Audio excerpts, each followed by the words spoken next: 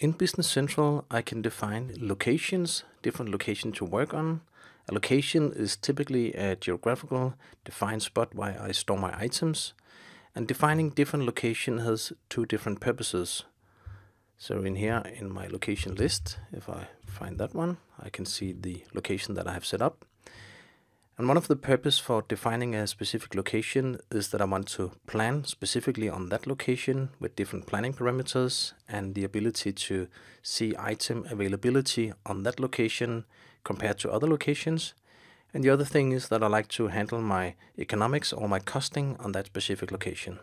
So in this video, I will give you example of those two things.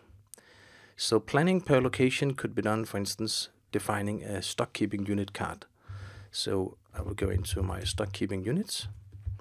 And a stock keeping unit is basically an item that is defined on a specific location. So if I search here on one item here, and it's only defined on location symbol 1 as a stock keeping unit, I will try to create the same item defined on location symbol 2. So if I define my item number and my location code, which would be symbol 2, I can now define specifically for that item being handled on location symbol 2 all kinds of parameters. So maybe in this case I don't want to reorder it as an order policy, but maybe as a fixed reorder quantity with reorder point and safety stock on that specific location, I can set it up here.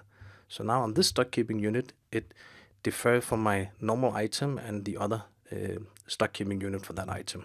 So going back to my list, I can see I have now two stock keeping units or SKU uh, as they're also called. And the other thing is that I can define costing per location. So if, for instance, I go into my inventory posting setup in here, I can see that per location I have defined a location code and inventory posting group code, and it reflects on all different kind of accounts that I want my inventory to be reflected on. So I can use my location to control my costing as well to see the inventory value on all different locations.